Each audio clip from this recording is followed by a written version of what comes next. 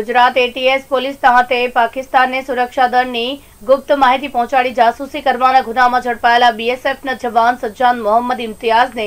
એટીએસે કોર્ટમાં રજૂ કરી દસ દિવસના રિમાન્ડ મેળવ્યા હતા. કાશ્મીરનો જવાન સજ્જાન મોહમ્મદ ઇમ્તિયાઝને કચ્છ જિલ્લાની પાકિસ્તાની સરહદે ફરજ પર મૂકવામાં આવ્યો હતો.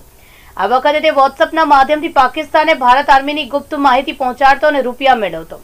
એટીએસ પોલીસે તેની ધરપકડ કર્યા બાદ ભુજ કોર્ટમાં રજૂ કરી દસ દિવસના રિમાન્ડ મેળવ્યા હતા.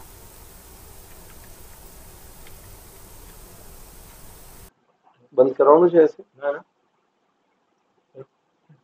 जी सर बात की जाए तो अभी जो बीएसएफ का जवान जासूसी करके पकड़ा गया है तो आज कोर्ट में उसको पेश भी किया गया और दस दिन के रिमांड मंजूर किए गए क्या कहेंगे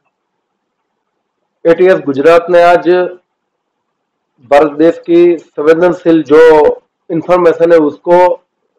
पड़ोसी दुश्मन राष्ट्र के कई खुफिया एजेंसियों के साथ शेयर करने के सिलसिले की इंटेलिजेंस इनपुट के आधार पर आज मोहम्मद सज्जाद सन मोहम्मद इम्तियाज़ को कच्छ बीएसएफ हेडक्वार्टर से इनको अरेस्ट किया है एटीएस के अफसरों ने। और इस, गुना की जो गंभीरता है और इस राष्ट्र की जो इंटेलिजेंस है, जो कि इंटीरियर हमारे बॉर्डर रिलेटेड डिस्ट्रिक्ट एवं और जो हमारे स्थानिक जो क्षेत्रीय की जो माहिती है, वो माहिती उन्होंने पड़ोसी देश की खुफिया एजेंसी एवं पड़ोसी देश की जो गुप्त संस्था है, उनको पास करने की उसने कोशिश की और उसने ये सभी माहिती वहाँ पर तक पहुंचाई है।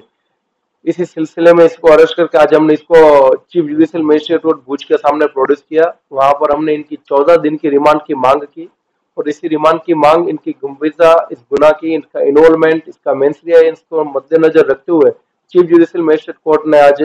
दस दिन के रिमांड ग्रांट किए गए।